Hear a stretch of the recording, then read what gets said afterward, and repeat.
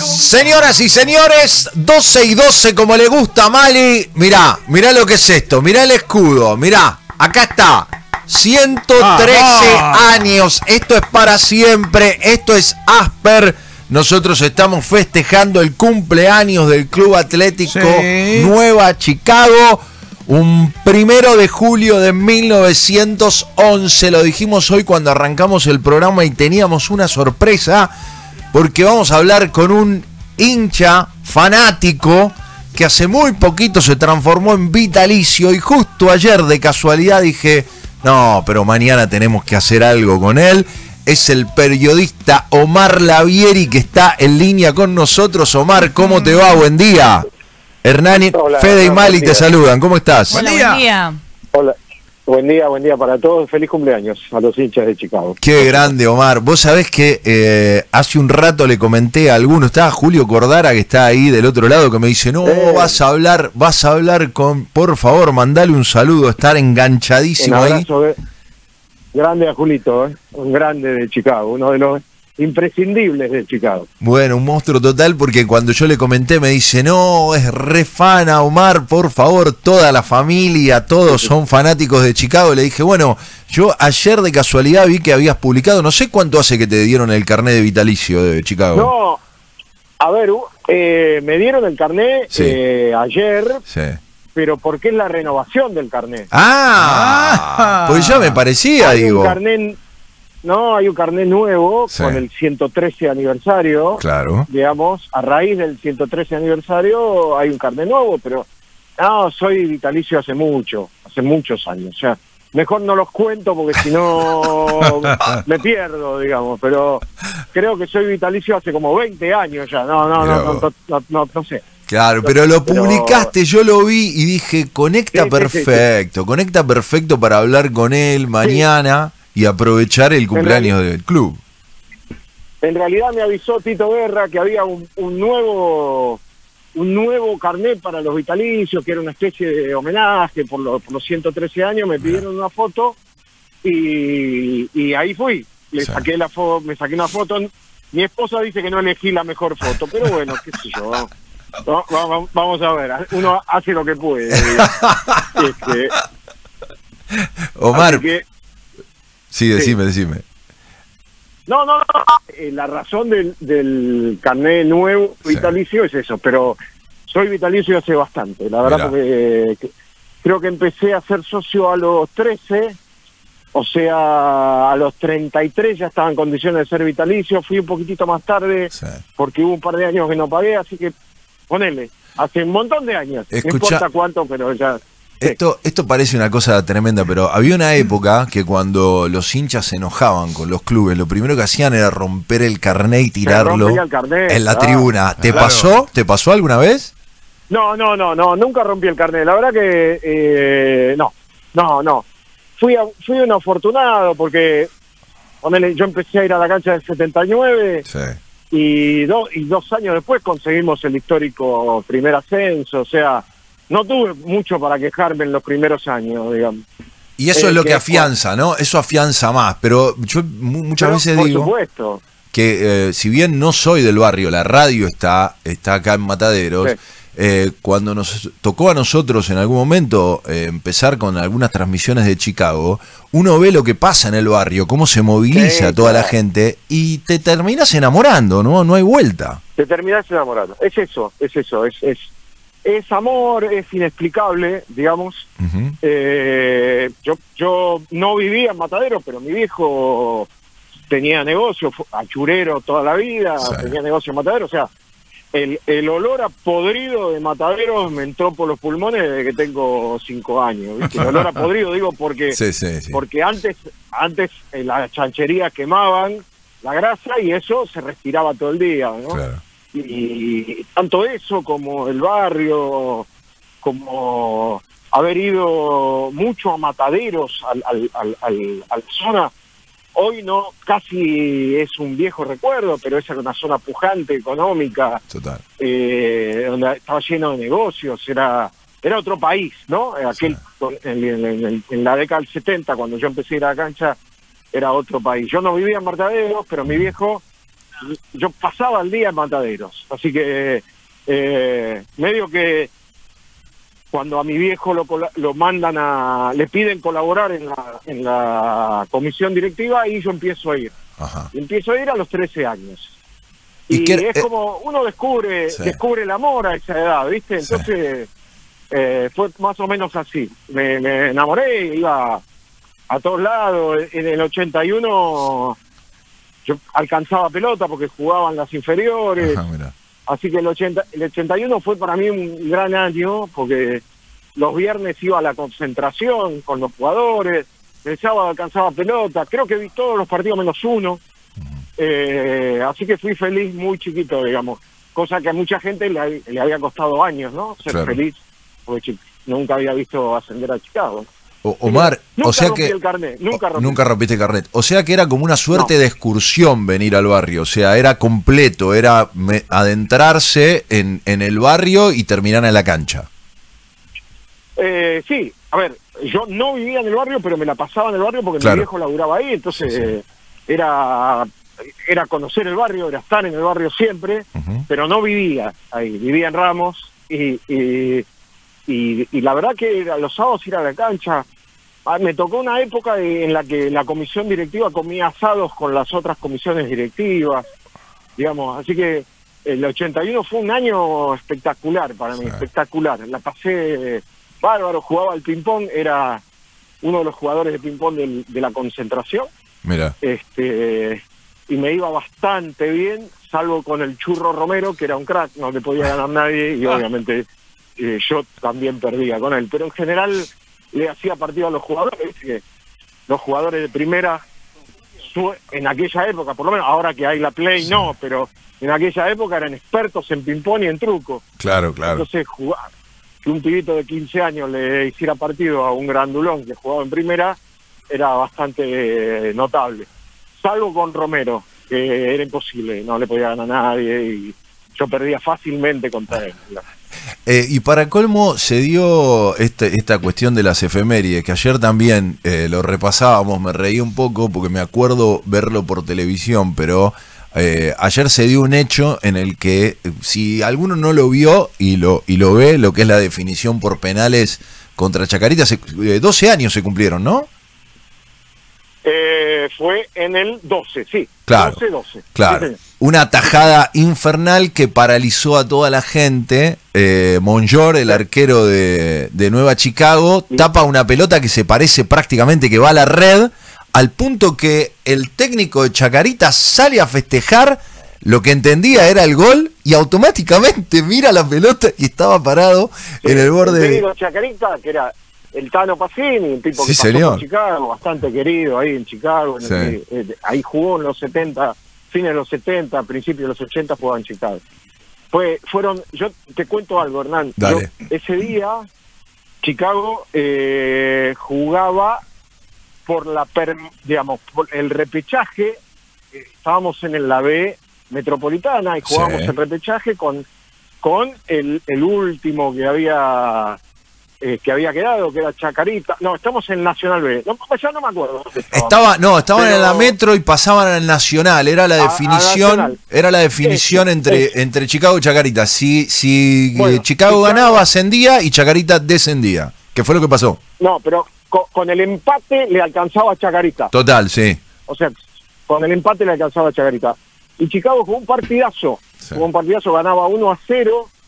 Eh, faltando 5 minutos, no me acuerdo quién quiere cancherear frente al arco de Chacarita, queda solo y la tira afuera solo, ¿eh? Solo sí, de sí, palos. No me olvido más. Y en la última jugada patea uno de Chacarita y le pegan la mano a, al cabezón Testa eh, y es penal. Penal en la última jugada del partido. Sí, exactamente. Ahí lo estamos pasando nosotros para la gente que nos está viendo por Twitch, por YouTube. Estamos charlando con Omar Lavieri, periodista reconocidísimo, periodista, pero fana de Chicago que nos pareció clave para, para charlar en un día como hoy. Y entonces en ese momento penal y se paraliza todo, último minuto. Penal, penal y paro cardíaco. Claro, totalmente. viene, viene una cosa al lado de la otra. Y me acuerdo que lo medí, lo medí, fueron 134 segundos que pasaron entre entre el Qué penal. Sí, el penal, el- cuando sancionan el penal, sí.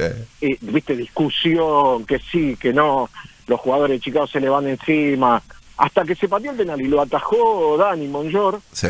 eh, pasaron 134 segundos. Y yo creo que si no me morí de un paro cardíaco ahí, no me morí más. digamos, me, me voy a morir, me va a atropellar un camión, lo que sea, digamos. Pero de paro cardíaco no me muero. Fue tremendo, tremendo. Nunca nunca la pasé tan mal, porque estaba todo listo, estaba terminado el partido, Chacarita no había llegado nunca. Eh, bueno, fueron los peores 134 segundos de mi vida. Bueno, que vos sabés que, a- vos sabés, Omar, que, que, que Julio está del otro lado, está reenganchado con la nota y me manda todos los detalles bien de estadísticas. Es un historiador, es, es- es fantástico. Me dice. Carboni fue el que erró el gol, Chicago ganó en la ida, le alcanzaba el empate para subir y, y para los que están viendo las imágenes pueden observar que da la sensación que la pelota va a entrar directamente por la mitad del arco, pero el arquero de Chicago la manotea y la mata ahí automáticamente. Pero lo fantástico es el técnico de Chacarita saliendo, Sí, sí, corriendo, no, con- estaba desesperado, ¿lo vio? Y lo gritó. Gritó el no gol. Sé si- no sé, Julio lo debe saber mejor que yo, pero Sí. me parece que después de ese día el Tano Pacini no dirigió más. Me- Puede ser, puede ser. digamos. Mm, puede ser. Porque Yo- quedó tan noqueado, no, sé, no lo sé, no lo sé. No, no, no, es que, es que automáticamente Pero mira al arco y dice no lo puede creer, se tira al piso. Ahí estoy relatando Sí, sí, un poco sí. las imágenes y se agarra, no, no, no y- entiende. Oíme, y nosotros que lo estábamos viendo por tele, Claro, pensamos lo mismo. exacto. O sea, estuvimos con electrocardiograma plano durante 3, 4 segundos y después empezaron de nuevo la- la- las puntitas, ¿viste? Que suben montañitas. Exactamente. Bueno, fue- Pero, pero fue estalló. así, fue Después así. estalló el electrocardiograma, se fue al cielo porque fue No. impresionante. Por, por supuesto, pero te la regalo, nadie No, sabía olvidate. nada que había pasado, festejaba Pacini y chao, terminó todo Sí. y bueno, revivimos. Ese día, ese día revivimos. 30 Bueno. de junio del 12. Eh, Omar, estas cosas que a veces uno a los más chicos le tiene que explicar, en ese momento hacía eh, local Chacarita, eh, obviamente el fútbol argentino tiene esta cuestión atípica que ya no existen más eh, las hinchadas Sí, de, de claro. ambos clubes, entonces para todos los demás era verlo desde la casa por, por televisión, porque no, no Por había posibilidades. Yo estaba en un cumpleaños del hijo de un amigo. Y no tenía sonido, o sea, era todo, todo, esos segundos fueron tremendos, eh. fueron tremendos, hasta que no enfocaron a, la- a los jugadores de Chicago abrazados, yo estuve ahí con, eh, digo, a punto de visitar a Víctor Sueiro, estuve, Claro, estuve claro. cerca de- Qué bueno A punto de visitar a Víctor Sueiro. Bueno, Omar, eh, eh, ¿cómo, ¿cómo surge, obviamente, a ver, eh, más, más allá de, de esto, del, del fanatismo, de todo lo que estás contando de Chicago, ¿cómo aparece el periodismo en tu vida? Un poco para, para hacer ese, ese vínculo. Mira, eh, yo jugaba al fútbol de chiquito, muy chiquito, jugué, jugué en Ferro, jugué en Independiente, después jugué en Chicago. Y, recuerdo que en, en Ferro eh, los papás de mis compañeros me llamaban el periodista, porque yo llevaba las estadísticas, Ajá, llamaba mirá. a la liga los lunes y preguntaba cómo habían salido. Entonces yo los, lo- el miércoles ya llevaba una tabla y decía, bueno, vamos acá y le llevamos un punto. Claro, no había información, no había internet, no había nada. Entonces era, yo llamaba lo- por teléfono, hablaba con un tipo, me pasaba los resultados y llevaba la tabla. Yo creo que empezó ahí un poquitito. eh, después intenté ser médico y, y por suerte para el resto del mundo fracasé en el intento. Eh, y finalmente eh, decidí ser periodista porque me gustaba contar historias. Eh, eso fue. Te digo, no, no mucho más. Y estoy laburando, tengo la fortuna de estar laburando desde 1987. Eh, me quedé sin laburo algunas veces, como casi todos en este país, porque el, el periodismo es una profesión con muchos vaivenes. Pero eh, fue eso, fue eso. Luego, a ver, de casualidad me metí eh, en el tema judicial, que durante Sí. treinta y pico de años lo hice, pero fue de pura casualidad eh, y quedé ahí y bueno, me especialicé en temas judiciales, corrupción, eh, en algún momento cubrí la Corte Suprema Sí.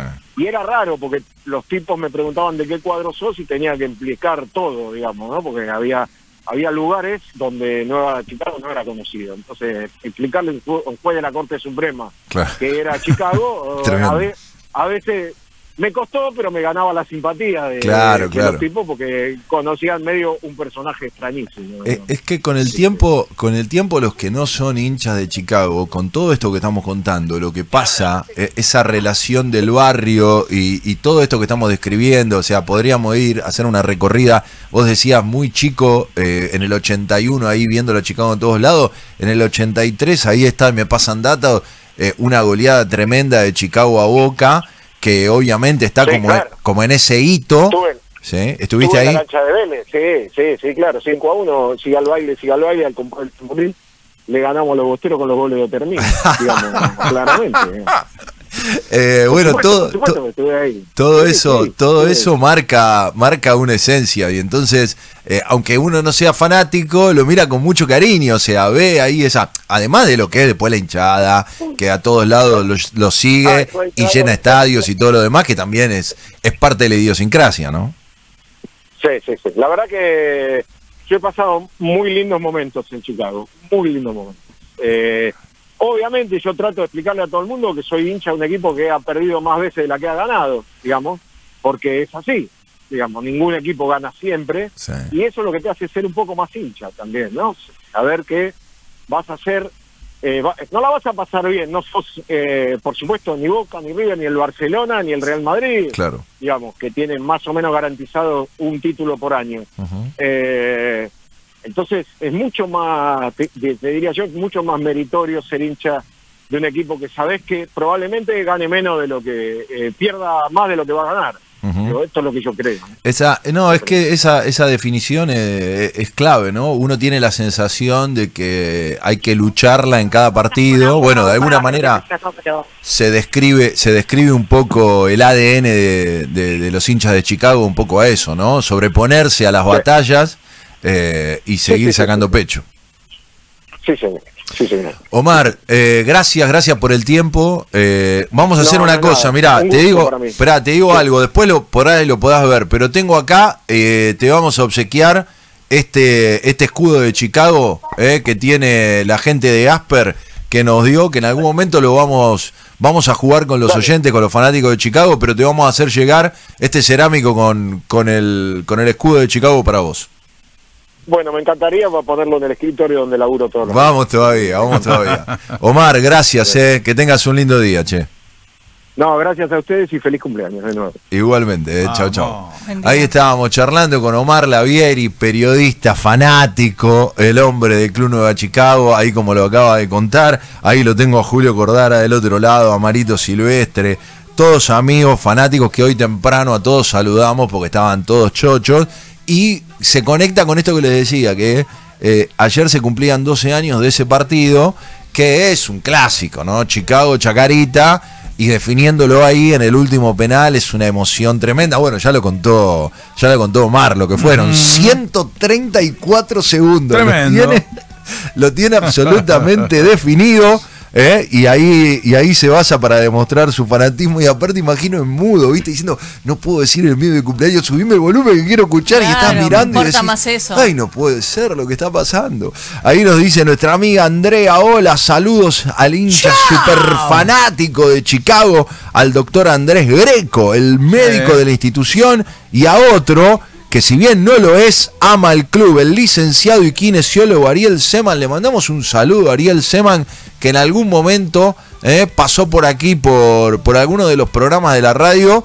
Creo que en la previa a transformarse en el, en el kinesiólogo de Nueva Chicago. En ese momento entró al grupo, así que le mandamos un saludo a Ariel Seman. Los sábados que Chicago juega de local, fui a ver el partido con mi amigo Mascota y nuestra barrita. Mirá. Eh, no voy a comentar del partido. Lo que sí quiero saber es por qué a Chicago nunca le cobran los penales. Ah. Nunca le cobran los penales. Dos penales que fueron muy claros no nos cobraron jugando de local. Es imposible, es imposible que los referí dirijan a nuestro club de local como lo hacen. Mira, ahí mandó la foto, ahí mandó la foto que fue a ver al club que está todo emponchado por el frío que hacía, tremendo. Qué grande avalancha, qué locura que tienen. Bueno, este se va para, para la Vieri, ¿eh? pero pronto vamos a empezar porque tenemos, porque tenemos que jugar con los hinchas de Chicago para ganarse este, el corazón del club, la insignia del club Nueva Chicago. Así que empiecen a afilar, vayan a la historia de Chicago, vamos a preguntar. Por ejemplo, yo recién hablaba, ¿no? De la victoria 5 a 1. Eh, 5 eh, a 0, perdón, de Nueva Chicago a Boca. Ah. Y, por ejemplo, una de las preguntas podría ser: ¿quiénes fueron los autores de los goles? Opa por ejemplo. En un momento, en un hito así tan particular. Un fanático lo Un fanático lo tiene que saber. No le vamos a preguntar cuántos segundos hubo desde el momento que cobraron el penal hasta que lo atajaron. Sí, porque ahora lo sabemos. Ahora ya lo sabemos. Ahora lo sabemos. Pero por ahí le vamos a preguntar quién era el técnico de Chacarita o quién era el técnico de Chicago en ese mismo partido, ¿sí? Que consiguió el ascenso. Bueno, cosas así que van a tener que responder para ganarse esta cerámica ¿eh? con los colores del Club Atlético Nueva Chicago. Asper, ¿eh? Recuerdos para siempre. Este es el corazón y como ya lo dijimos, el club no se cambia, es para siempre. Felicidades a todos los hinchas del Club Atlético eh, Nueva Chicago hoy en el día de su cumpleaños. 113 años para la institución. Felicidades para todos.